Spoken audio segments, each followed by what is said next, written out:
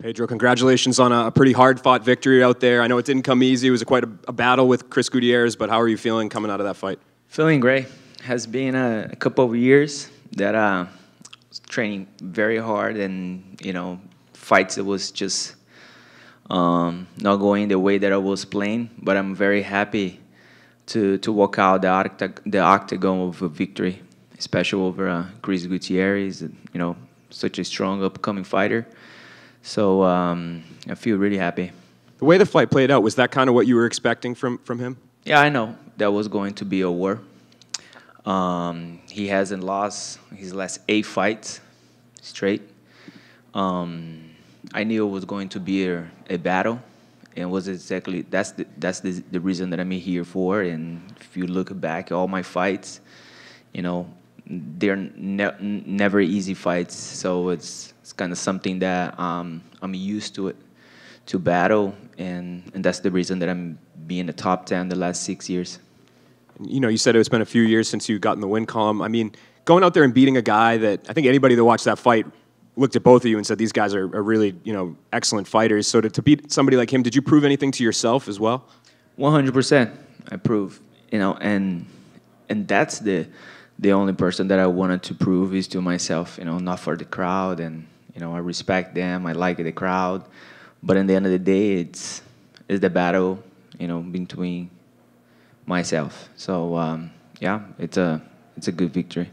Were there any changes you made in, in preparation for this that you feel like were really effective tonight?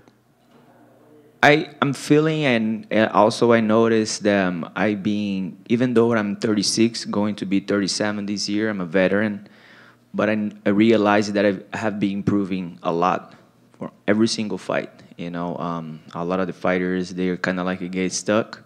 But the bantamweight division is a, such a competitive division that it required us to to to to always be developing, getting better. And American Top Team is just a a place that a lot of beasts are there. So it's a it's a place that I improve every day. We have the best coaches, the best training partners, and and that's and that's the reason that I'm still here nine years later competing for these these UFC this organization and still competing with the best fighters in the world. And tonight I prove again to myself and to world that you know I'm I'm the best fighters in in in this division. Coming into this fight, you were number nine and he was 13. Um, do you feel like what kind of matchup do you feel like this has earned you? Is there anybody out there you want to fight, or top 10, or kind of what do you think's next? Number nine, so he's number 13. Um, I haven't thought about uh, nothing yet. I was just, you know, focusing fighting Gutierrez. I knew it was going to be a tough fight. So now, you know, just rest for a couple weeks and, and then see what the future is gonna is gonna play out. Pedro, coming into this, you uh, talked about the difficulty with the eye injury from from your previous fight.